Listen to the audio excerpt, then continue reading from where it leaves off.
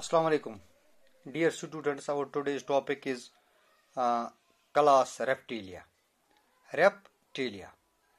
यानी phylum vertebrata जो है उसका तीसरा क्लास जो है उसको रेप्टिलिया कहते हैं।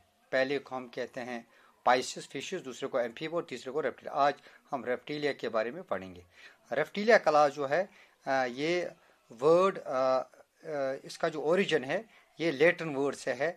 रेप्टेयर रेप्टेयर मीन्स टू क्रीप लातीनी जबान का एक लफज है रेप्टेयर उसका इंग्लिश में इक्वेलेंट मीनिंग है टू क्रीप यानी वो एनिमल्स जो रिंगते हैं. क्रीप मीन्स रिंगते हैं. अब इसके इंपॉर्टेंट या फीचर्स कैरेक्टर्स क्या है?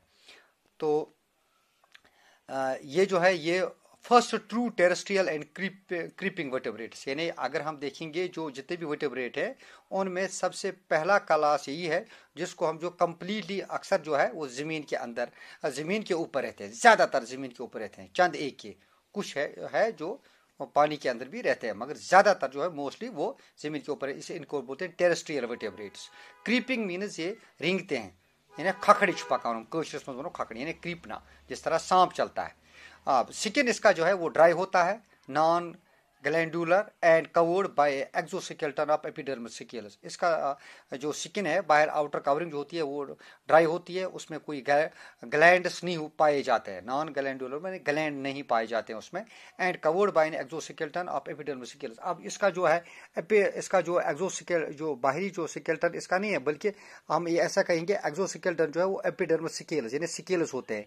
यानी तथ पे कंडी क्रोछ आसान पेट, यानी वो एक जैसे शल जैसी दिखती है, पतली सी, जिस तरह सांप के ऊपर हमें देखते हैं।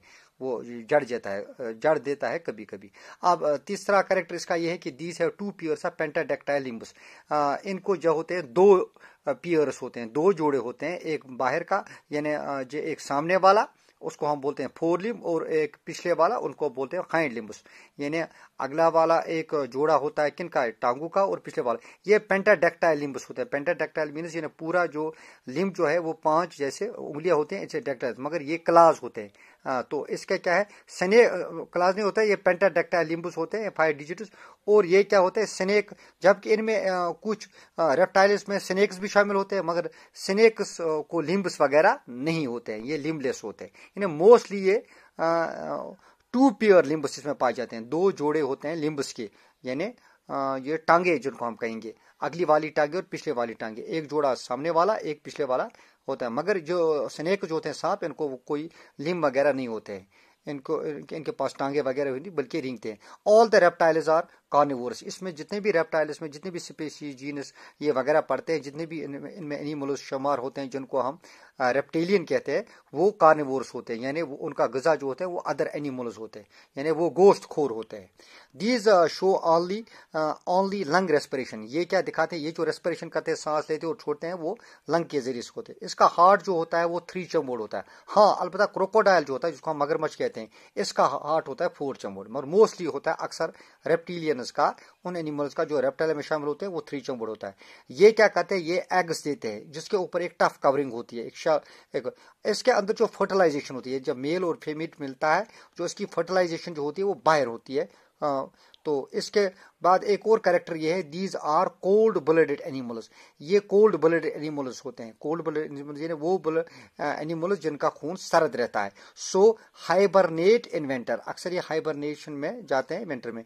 इसकी कॉमन एग्जाम्पल्स क्या क्या हैं? स्नेक्स है सांप टर्टल्स जिनको ये पानी के अंदर रहते हैं। लिजर्ड्स ये जो है जैसे ये चपकली वगैरह वगैरह एंड क्रोकोडाइल्स और मगरमच्छ टोटाइल्स और ये कछुआ वगैरह ये इसकी कॉमन एग्जाम्पल्स है आप ये एग्ज़ाम आप ये थोड़ा सा डायग्राम भी ऑब्ज़र्व कर सकते हैं, उसके बाद आप एनालाइज करेंगे कि हम किन एनिमल्स के बारे में पढ़ रहे हैं। ये क्लास रेप्टीलिया के एनिमल्स है, यानी वो एनिमल्स जो क्लास रेप्टीलिया में शामिल होते हैं। Thank you